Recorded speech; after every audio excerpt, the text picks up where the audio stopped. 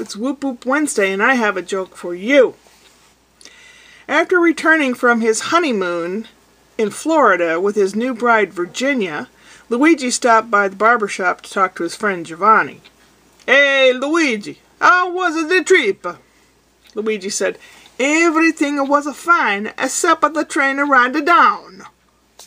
What do you mean, Luigi? Well, we boarded the train at Grand Central Station. My beautiful Virginia, she packed a nice big lunch, brought us some vino and some nice big cigars for me. We were looking forward to the trip. Everything was okie dokie till we get hungry. We open up the lunch basket. The conductor, he come and he wag his finger and he says, you cannot eat in this car. You have to mm, you go to the dining car. So, me and my beautiful wife, Virginia, we go to the dining car. We eat a big lunch. We start to open the bottle of vino. The conductor, he walk by again, he wag his finger and he says, uh, you cannot drink in this car, you must go to the club car. So we go to the club car and have the wine.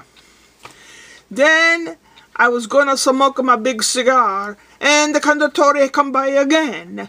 And he says, you cannot smoke a cigar, in here, you must go to, to, to the smoking car. So we go to the smoking car. And I smoke my nice big cigar.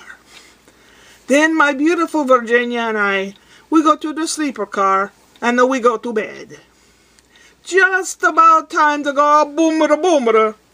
The conductor come through the hall, a shouting at the top of his voice, Norfolk, Virginia, Norfolk, Virginia. Hey, I tell you, next time I'm not gonna take the bus.